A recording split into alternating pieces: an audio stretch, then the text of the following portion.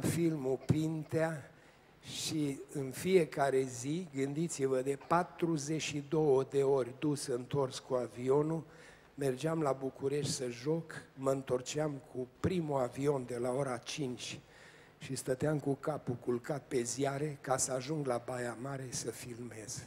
Într-o duminică n-am plecat și atunci regizorul filmului Mircea Moldovan mi-a spus, mă Florine, hai să mergem aici, într-un sat apropiat, la Budești, unde trăiește unul pițiș, un țăran care cântă melodii de pe vremea lui Pintea, să-l rugăm să vină la film, să ne cânte. Zic, bine, mă. Și plecăm și mergem 2 kilometri și întâlnim un bade, zic, bună ziua, bună ziua. Zic, e departe unde stă pisil. Nu, e departe, aici la doi pași. Mai merem vreo 3 kilometri. Iar între bolele, să rămână lele. Bună ziua, ă, stă departe pisil. Nu, baba, mui, mă. Domnule, jumătate de zi am mers pe jos, când am ajuns acolo era încrăcănat, dar n-am terminat povestea cealaltă, dar altă dată vă mai spun, și ajungem la portă, la piții, și batem în portă, răspunde o muiere, vine, zic, să rămână. Bună ziua, zic, eu Pintea. Pintea, ăla de, cu tare, zic, ăla de, îl vedeți pe cearșaf, la cinematograf. Da, și ce vreți? Zic, vreau să vorbesc cu soțul dumitale, domnul Pițiș, e acasă, Badea Pițiș. După nu e acasă. Dar am uitat să vă spun că eu aveam atunci 42 de ani. Și zic, nu e acasă, îmi pare rău, noi am vrut să rugăm să vină să cânte ceva în filmul nostru.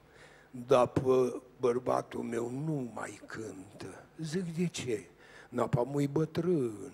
Dar câți ani are? 40.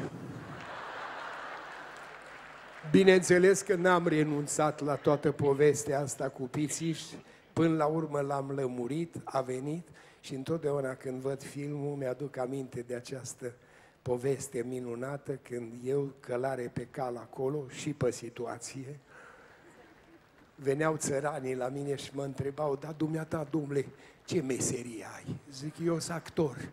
Zice, actor, actor știm noi, dar ceva serios știi să faceți. Asta nu uit niciodată.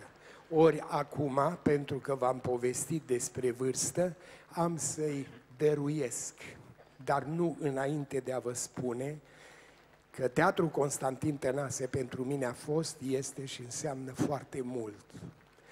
Astă seară i-am invitat pe toți colegii mei care n-au văzut la piesa Străini în noapte, pe care o să o jucăm pe 13 uh, decembrie, ultimul spectacol din anul ăsta, că în rest jucăm în orașele mai îndepărtate sau mai apropiate și vă invit pe dumneavoastră, nu numai la spectacol, că și eu am făcut asta pentru Stella, pentru că mi-a fost drag să știți că se sărbătorește.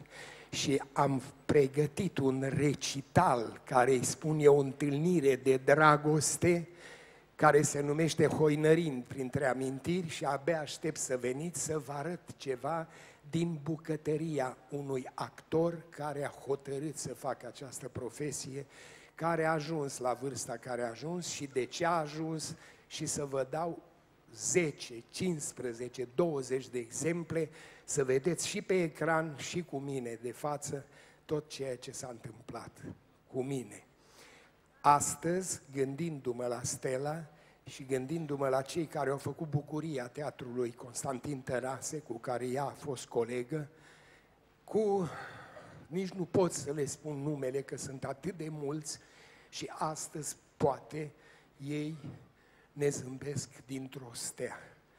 Am primit de la Nestroie, unul din cei mai mari actori de stradă pe care i-a avut România, am primit nu de mult o melodie pe care aseară la televizor, la TVR1 am fredonat-o. De ce? Că am vrut să fac o repetiție, să nu mă fac de rahat acum în fața dumneavoastră. Și vă rog să o ascultați.